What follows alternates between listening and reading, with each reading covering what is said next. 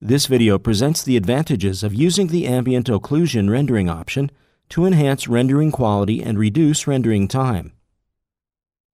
Let's display the ambient occlusion rendering setting, available for ArchiCAD's built-in Cinerender engine. We will enable this setting and make a sample rendering. Please notice that the intersecting surfaces, along with their intersection, are displayed using a slightly darker shade. This is the effect of ambient occlusion and ensures a more spatial 3D look of the image. Please note that now there is an invert direction option also available for the ambient occlusion setting. Let's enable this option. And then have a look at the results by re-rendering the model with the new settings. Please note that now we can see the effect presented previously along the positive surface intersections as well. Currently, we've entered a value of 1000 for the maximum ray length distance.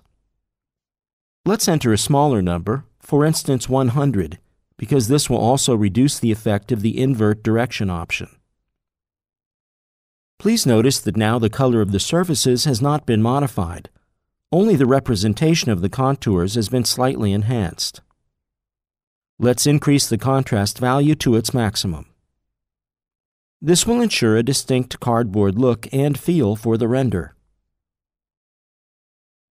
It's a recommended practice to use the invert direction option of the ambient occlusion rendering setting together with the monochrome model view as we've shown in this video. The invert direction option of the ambient occlusion setting that we showed you is also available for surfaces. It can be added as a shader effect to a surface. By enabling the invert direction option, the rendering effect presented earlier will be applied to the selected surface. Let's see another example for this effect. Here's a fire hydrant in the 3D window. We already adjusted the ambient occlusion settings, so let's render the model to see the results. You'll notice that a distinct natural wear is visible along the perimeter of the individual surfaces of the fire hydrant. Let's have a closer look at the details of the material settings.